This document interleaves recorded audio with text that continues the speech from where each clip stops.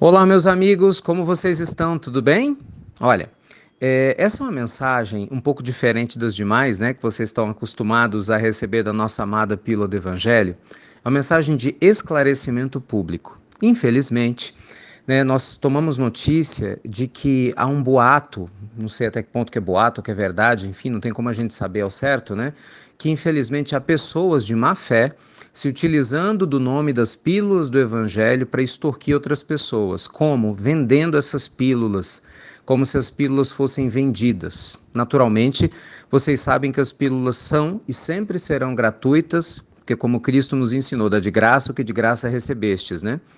Então, todo o nosso trabalho né, do Instituto Namastê, da Falange do Bem, que é feito, gente, com tanto amor, com tanto carinho, com tanto desvelo, é feito com o único intuito de poder crescer espiritualmente junto com vocês, a gente se ajudar né, de maneira mútua. Então, de forma alguma, aceite a ideia absurda, né, sem o menor cabimento, de que você tem que fazer transferências bancárias ou depósitos para receber pílulas, né, ou enfim, não sei exatamente o que, que essas pessoas estão trabalhando. Como esse boato nos chegou agora há pouco e eu vi que são algumas pessoas, né, de lugares diferentes que receberam o mesmo boato, então, de imediato, né, nem aguardei a pílula de amanhã para me posicionar, para deixar muito claro que o nosso projeto ele é feito com muito amor e muito carinho e absolutamente as pílulas do Evangelho são cobradas. Nunca e jamais serão enquanto eu estiver à frente desse projeto. Disso vocês tenham certeza. O que naturalmente acontece, como acontece em qualquer lugar, é num evento ou outro, a gente vende um CD, né, que custa 15, 20 reais para manutenção do projeto da Falange do Bem. E naturalmente compra quem quer, mas as pílulas do Evangelho são gratuitas, né? A pessoa não precisa nem comprar o CD se ela não quiser, porque as nossas pílulas estão disponíveis no YouTube para quem quiser, todas elas, no Facebook de maneira gratuita e diariamente são enviadas para vocês com todo o amor e todo o carinho. Então, por favor, nos ajudem a coibir né, esse tipo de situação. Eu de verdade oro né, para essas pessoas que, infelizmente, ainda precisam se utilizar desse tipo de artifício é, abusando né, da má fé, utilizando mal do seu livre-arbítrio e às vezes até da carência de uma outra pessoa que, no estado às vezes de necessidade né, emocional, acaba muitas vezes pagando é, sem se dar conta né, do absurdo que está fazendo parte, né, que está sendo feito com essa pessoa.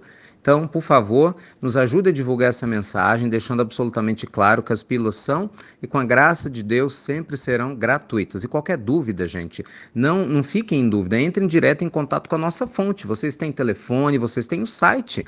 Entra lá, institutonamastê.com.br, façam contato direto conosco. Né? Não tirem dúvidas com outras pessoas que a gente nunca sabe, infelizmente, da intenção né, que muitas pessoas têm. Tá bom? Mas vamos orar por elas, porque é isso que a gente aprende com o Evangelho, né? A gente infelizmente, ainda tem que passar por situações como essas para a gente se iluminar. Todos nós aprendemos.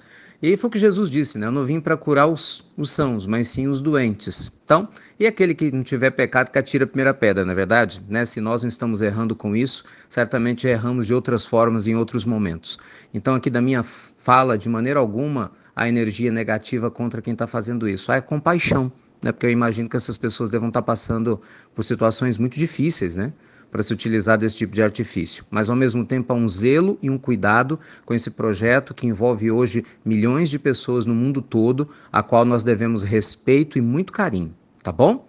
Então é isso. Deus te ilumine. Excelente restante de terça-feira. Luz e paz. E você já sabe, né? Até breve, até muito, muito breve. E espero sem precisar fazer mensagens novamente como essa.